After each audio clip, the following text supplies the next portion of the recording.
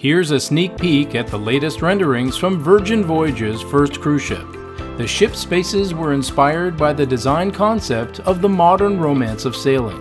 Utilizing some of the world's leading design firms, the Virgin Voyages vessel has a unique blend of contemporary finishes matched with upscale yet playful design elements.